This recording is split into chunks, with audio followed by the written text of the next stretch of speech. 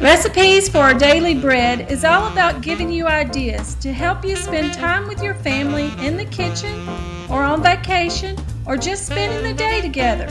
I pray these ideas will help you bring your family closer together and honor God at the same time.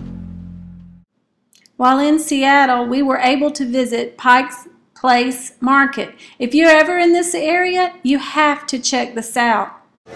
At Pike's Place Market, you will notice that fresh seafood is abundant everywhere. Vendor after vendor is selling fresh shrimp. Look at these jumbo large shrimp and the crab. Look at the king crab legs. They were so huge and so vibrantly red. Fish galore. There's some lobsters and scallops and all kinds of assortment of fresh seafood. Look at the gorgeous looking salmon.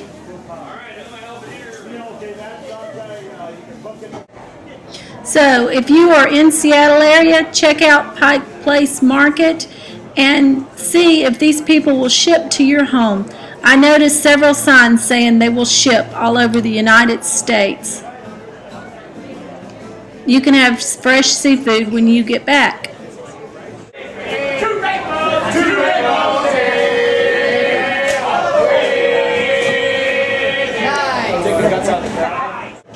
The market had a huge variety of fresh fruits and vegetables.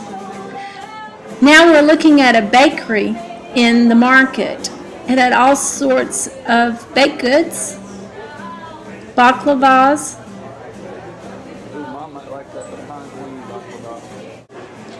could tell immediately that the Seattle area gets a lot of rain compared to where I live in the south. The fruits and vegetables were full of co color, but the flowers were absolutely stunning. The oranges and purples and blues and yellows and and all of the colors were just gorgeous. You can pick up a bouquet relatively inexpensive for just a few dollars. Well worth the trip to the market.